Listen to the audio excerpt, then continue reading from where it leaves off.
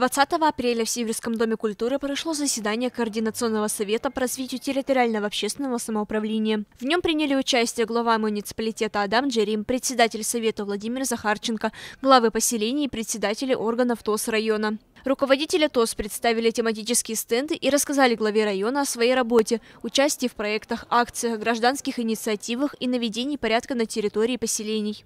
Собравшиеся также обсудили развитие органов территориального общественного самоуправления в Северском районе. Подробнее об этом рассказала заместитель начальника отдела организационной работы Управления организационно-кадровой работы Анна Долецкая. На территории Северского района по состоянию 31 декабря 2020 года действует 112 зарегистрированных органов ТОС, три из которых имеют статус юридического лица.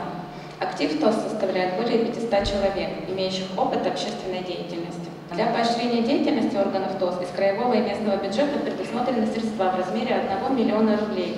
ТОС номер один «Хуторок» является одним из победителей краевого конкурса «Лучший орган ТОС и комфортная среда от мала до велика». Благодаря ТОС хутор Стефановский преобразился до неузнаваемости. Здесь появился ухоженный сквер, беседка, спортивная площадка, тренажеры и многое другое.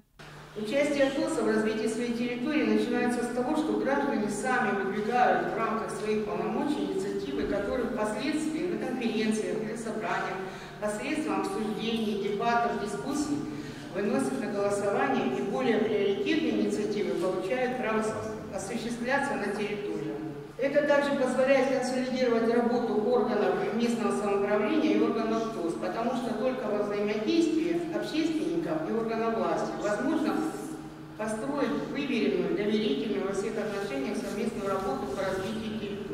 Территориальное общественное самоуправление – это диалог между муниципальной властью и гражданами. С помощью этого союза поселение Северского района становится чище и красивее. Коллеги, друзья, мы должны понимать, что это наш общий дом. Северский район – это наш общий дом.